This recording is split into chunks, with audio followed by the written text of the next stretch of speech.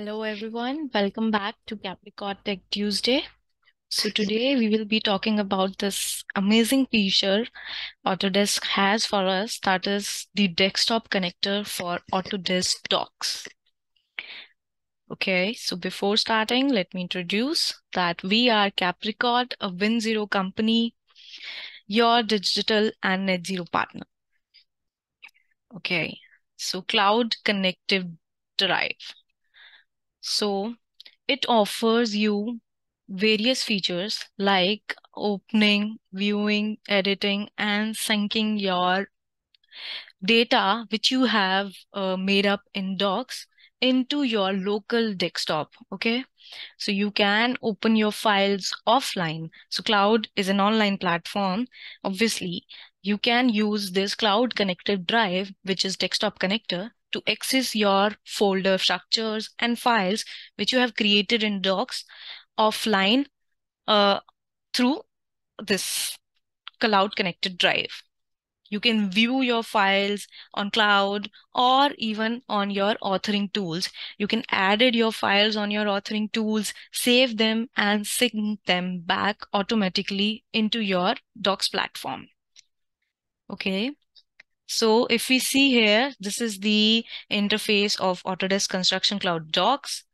So the, these are the various folder structures and files we have created there in Docs. And this is the local desktop, which have the connected drive uh, for this cloud-based uh, cloud structure here in your local desktop.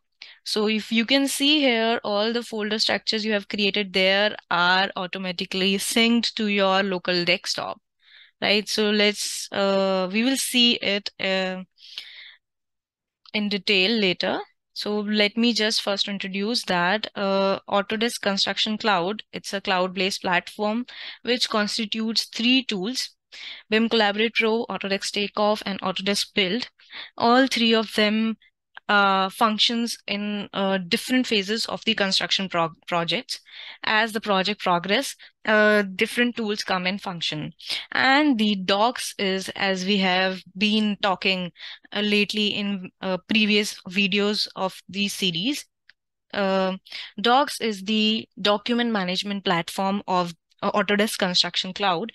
And today we will be discussing desktop connector, which is the local desktop connected drive for docs. Okay, so let's me just show you what it is. So I am here opening my local desktop folder.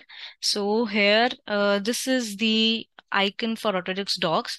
So uh, for desktop connector, so you have to install it on your personal computers and then only you can uh, access your folders and files from your cloud here in your local desktop. Okay, you have to sign in with the same ID uh, which we have been using for ACC and then all your uh, data which you have which, which you can access there uh, you can access here in your local desktop as well. So if I click here, it will enlist uh, all the accounts which I am part of. So these are the different accounts which I am part, part of. Let me just open one account and show you what all we can access. So see here in this account, these are the all the projects which have I which I am part of. Okay.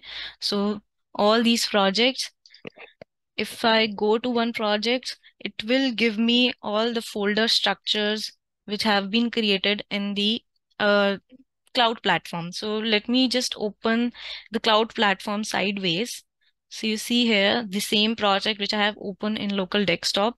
I've opened in here in cloud and uh, this is the folder structure. So you can see here in uh, it has been all synced uh, automatically as it was there in the cloud platform. So anytime I can access my files from this local desktop folder. Okay, so let's open one folder and see. So you see here the similar folder structure as it was there is has been replicated here. All the files, whenever it will be uploaded there, it will sync here. Okay. So with the current version so you can be sure that you are op opening what version you are opening okay so you can just open your any type of uh, file uh, types as uh, what uh, doc supports it uh, it also supports the uh, the similar file types like uh, revit or cad and many more so you can just open your AutoCAD file, edit it, and then sync it back to the cloud. You can update your versions from here as well. Okay.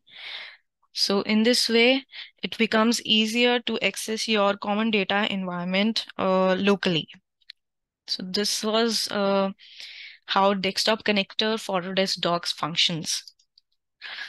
That's it for today's video keep tuning for uh, next video. Thank you.